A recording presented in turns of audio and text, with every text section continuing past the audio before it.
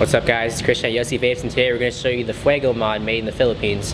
Uh, to get into detail about this mod, it's uh, only 300 made, it's a 510 connector, bottom pushing pin, and also it's uh, made out of brass and stainless steel.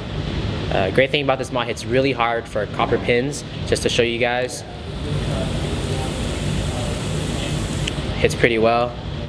So uh, let's put the cap back on and let's take a vape to show you guys how it hits. Wow. Pretty well for a couple seconds. Uh, if you guys want to check out this vape, come by the store, check out the Fuego mod. And if you guys like this video, please uh, comment below, like and subscribe. And until next time guys, see you guys soon.